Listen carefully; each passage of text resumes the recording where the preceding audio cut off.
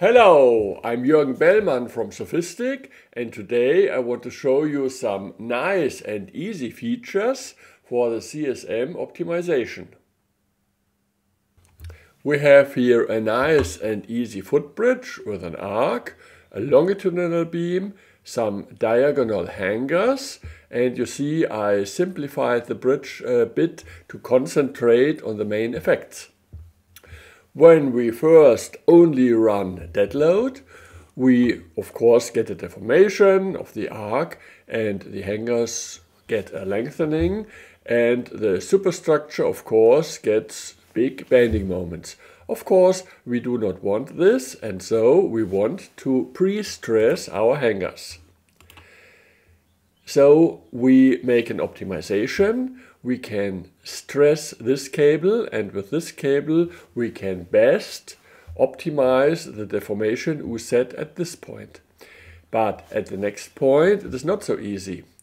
In a first run I only stress one cable, so I say I use this cable stresses to get the optimum deformation at this point.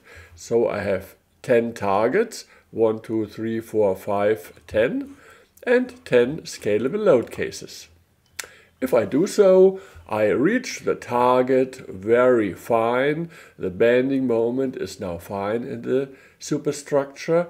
But of course, the cable forces are not very nice because here even I get a little bit compression.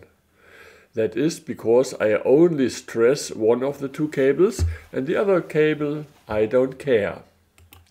So what to do? There are three possibilities to come to a good solution. The first is I use less targets.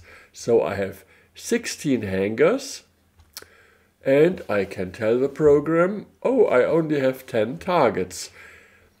The second possibility is I say the first condition here is uz equals 0 here and the second condition for the second cable is that the cable force in this shall be the same as in this element.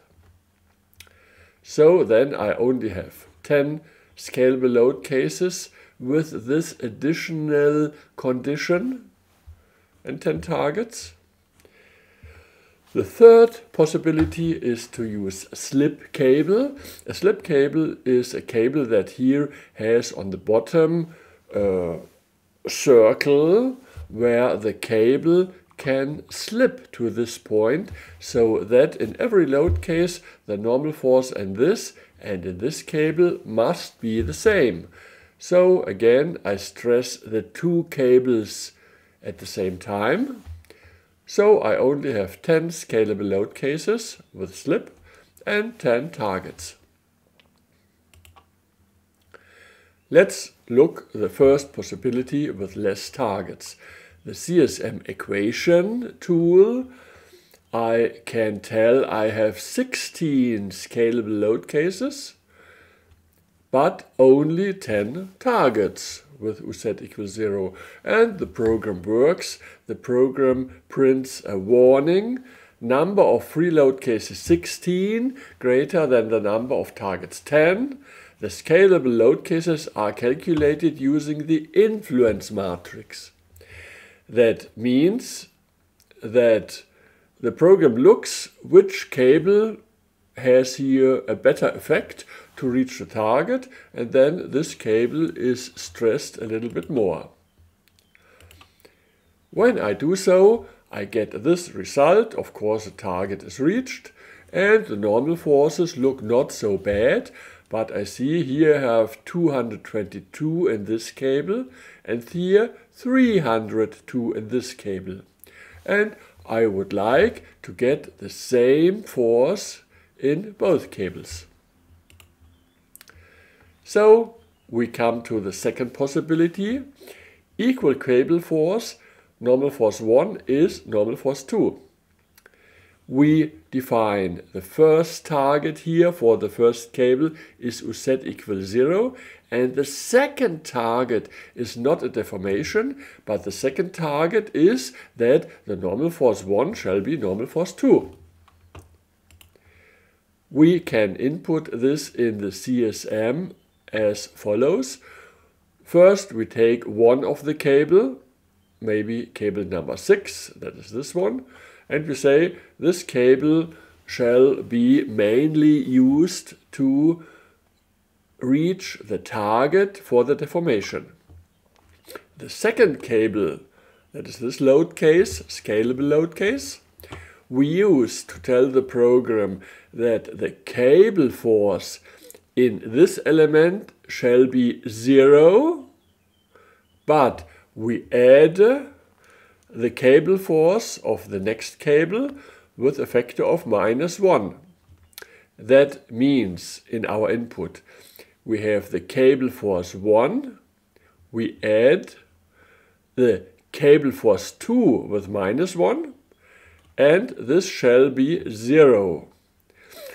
If we move this to the other side, we rewrite and we see n1 is equal n2. That is the condition of this second target. If we do so, we get the following result, target reached, bending moment perfect, and we see really the cable force in the first cable here, 263, is really the same as in this cable. So this now looks to be very perfect. Now we come to the third possibility, slip cables. Also without optimization you can use slip cables for membrane form finding or other stuff. There are some examples in the example folders extra. We can here define our slip cable group number 3 has two elements, 106 and 107, 106 and 107. And with this line, we define that normal force 1 and normal force 2 will always get the same normal force, slip cable, so that this cable is really one cable and can slip around this point. With this feature, we also have 10 scalable load cases and 10 targets, perfect for the optimization. We now run this in ASE. Of course, we have to say in the scalable load case WAR 203, we now stress two cables. But that is not a problem. And in the CSM optimization, now we have only 10 scalable load cases and only 10 targets with UZ equals 0, so perfect for the optimization. And of course, the result is the same as before.